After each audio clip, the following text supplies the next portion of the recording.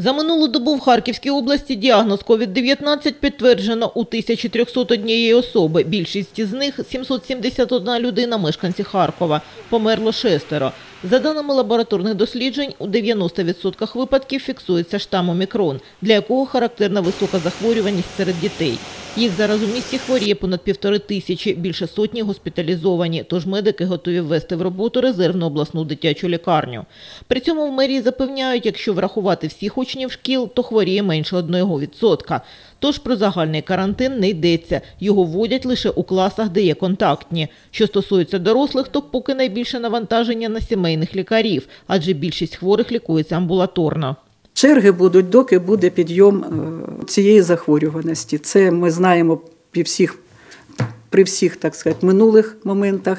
Ми зі свого боку робимо все, щоб максимально розгрузити е, ці черги. Я була в 10-й поліклініці, ми відкрили зразу другий кабінет, де беруть е, аналізи на, на ПЛР. От, в шостій поліклініці з двох кабінетів зробили п'ять, де приймають лікарі.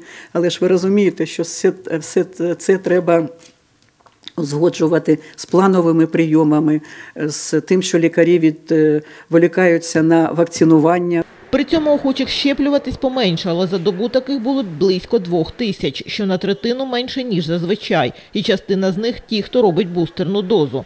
Таких по області вже близько 15 тисяч. При цьому медики наголошують, вакцинація – найбільш дієвий спосіб уникнути, якщо не захворювання, то його важких наслідків. Наразі лише 53% мешканців регіону мають хоча б одну дозу. Переконувати людей чиновники планують за допомогою мобільних бригад та побудинкових обходів. Зараз е, е, сімейні лікарі проводять подомові е, обходи. Вони намагаються залучити як можна більше населення, які там 60 плюс віком, які не можуть дойти самостійно. Проводиться постійна робота серед населення, але хочу зауважити, щоб голови ОТГ теж включалися в цей процес. Що стосується категорій, які від 1 лютого повинні мати обов'язкове щеплення, інакше будуть відсторонені без збереження заробітної платні до отримання ковід-сертифікатів, то їх одиниці, говорять чиновники. В Харкові це 14 педагогів та 11 медиків. В області менше 1% працівників лікарень.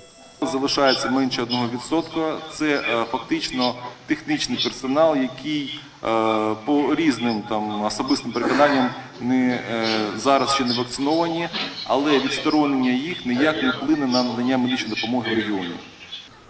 Також обов'язково вакцинуватись повинні чиновники та працівники комунальних підприємств, але статистику по ним поки не оприлюднили. Марина Ніколаєва, Владислав Самойлов, агентство телевідення «Новості».